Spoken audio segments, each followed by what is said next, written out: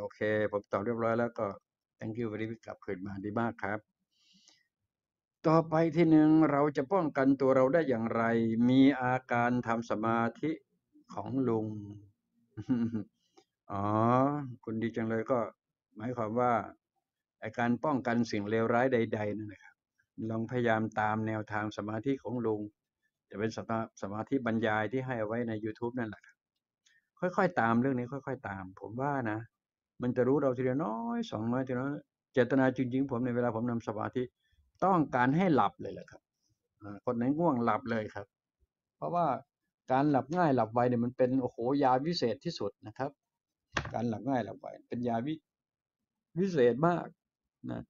มนุษย์โลกวันนี้จะนอนไม่หลับนี่เยอะค่อนข้างจะมาก หลังๆนี่หนุ่มสาวเด็ก ๆ ก็นอนไม่หลับกัน โอ้โหอะไรกันนักกันหนานั่นนั่นนั่นนั่นอ่าพวกแตกเนื้อหนุ่มเนื้อสาวใหม่ๆ ก็ยังนอนไม่หลับกัน โอ้ยนี่ก็คือเรื่องของคลื่นเนี่ยมารบกวนตลอดเวลานะครับ แจ้งเพื่อโปรดแทบทุกทุกท่านกันแล้วกันนะ ที่อยู่หน้าจอที่เคารพทุกคนนะครับ เอาละ